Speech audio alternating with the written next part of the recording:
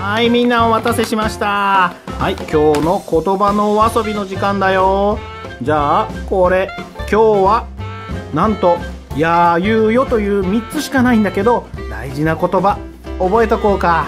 じゃあ、これね、みんな知ってる？アンパンマンのお友達、焼きそばパンマンだよね。焼きそばパンマンの、や、だね。うわ、なんか上手に焼きそばを焼きそうだね。さすがだ。美味しそうな。そして次出てきたのが、ゆで卵ちゃんだって。みんなゆで卵知ってる？卵を茹でてね、美味しく食べれるんだよね。ゆで卵ちゃんのゆ。ねえ、おでん、おでん持ってる感じだね、なんか。そして、ヨットのセーラーくんだって。ヨットって知ってる？船だよね、船。船のね、ヨットっていうのがあるんだけど、それのセーラーくんって言って、この子だね、セーラーくん。じゃあ、みんなで、やーゆうよ。ちょっと今日は短いけど、気持ちよく読んでみようか。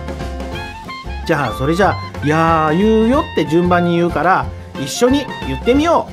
今日もできるかな？じゃあ、せーの。やーゆうよ。オッケーみんな言えたかな？やーゆうよだね。